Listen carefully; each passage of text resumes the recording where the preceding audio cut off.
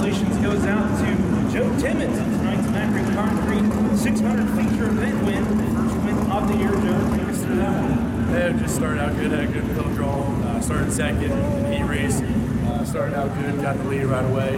Uh, just kind of ran with it. You know, made some adjustments for the feature. And, you know, just started out well. Just kept going. So, Who do you have to thank this evening?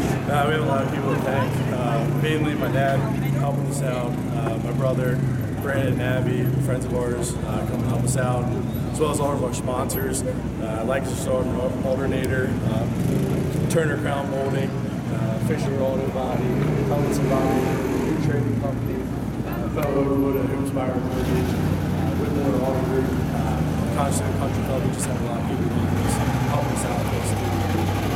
Congratulations, Joe. Hope to see you back next year.